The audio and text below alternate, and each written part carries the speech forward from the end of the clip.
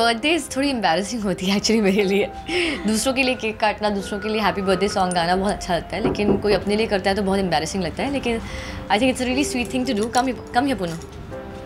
हमारी कंगना आ चुकी है मेरे लिए कप केक्स लेकर मेरा बर्थडे गिफ्ट लेकर वेल well, uh, बताया नहीं आमिर ने मुझे क्या गिफ्ट करने वाला है लेकिन आई एम श्योर कुछ अच्छा ही गिफ्ट करेगा and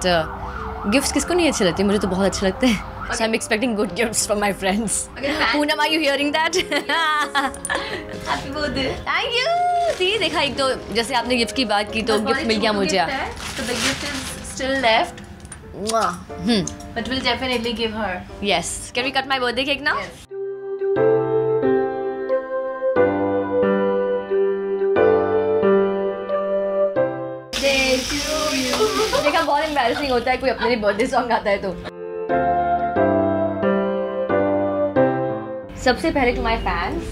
Thank you so much for loving Durga Thakur ना गोस टू पूनम ब्लास्ट होने वाला है जल्दी से ब्लास्ट वेल आज फॉर्चुनेटली um, कहूँगी मेरा बर्थडे भी है और शो um, का आखिरी दिन भी है। तो ऑब्वियसली हम वैसे भी मिलने वाले थे सब शो uh, के एंड uh, में। तो एक बहाना मिल गया सबको संध्या की बर्थडे का और हम सब मिलकर पार्टी करने वाले आज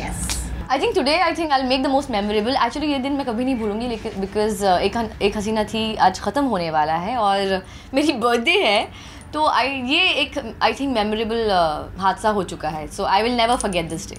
I just want thank you all for loving me as Durga Thakur for loving my show I know yes T has been so special to me and we have given a very very good show and I promise I come back with something bigger and better keep loving me